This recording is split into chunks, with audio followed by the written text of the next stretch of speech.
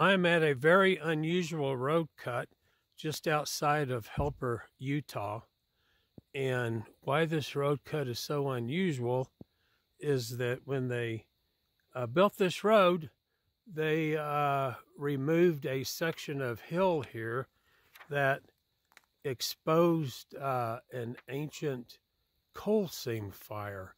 Um, this particular, I've looked it up on the internet, this particular site uh, happened during the late Cretaceous area era, approximately 84 million years ago.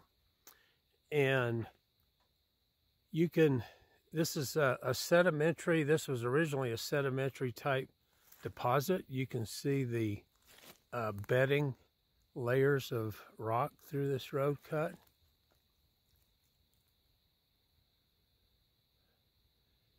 And so what happened here is what is referred to as a special type of metamorphism called pyrometamorphism. And that occurs when extremely high temperatures and low pressure uh, exist, and that is commonly associated with coal seam fires and that is what created this uh, actual huge cross section. Here's what we're looking at of the geology of a coal seam fire. Those top layers up there were just uh, cooked but not melted.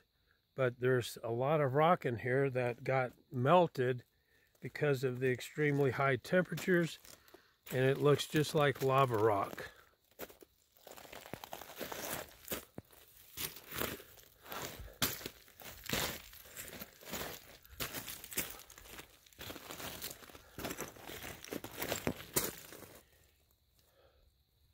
You can see this seam of molten rock running through this boulder here.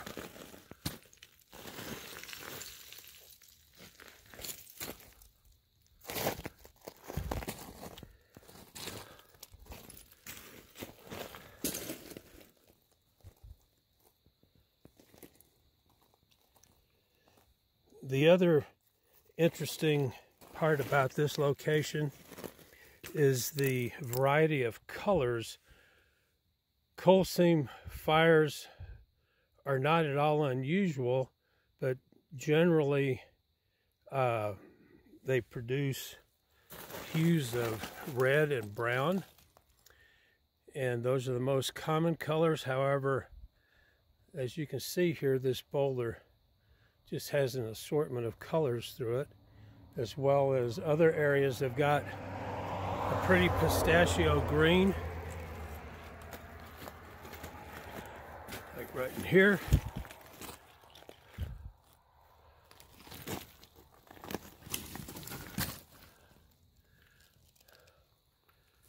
And this little spot right here has just got all kinds of color.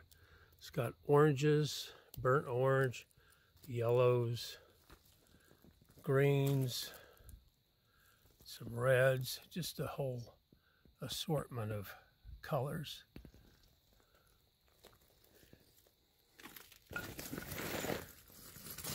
So this type of rock is commonly referred to as clinker rock. And the reason why it's called clinker rock is that when it has sort of a, a porcelain clink to it whenever it's banged against something, and therefore that's why it's called clinker rock. However, the technical and correct geologic name to this is brucite, and again, that refers to the kind of rock that we've got here that was produced by these extremely high temperatures. There's another cool area down in here. This stuff is extremely fragile, as you can see. But I'm going to spend the morning here collecting because this makes some extremely nice colorful specimens.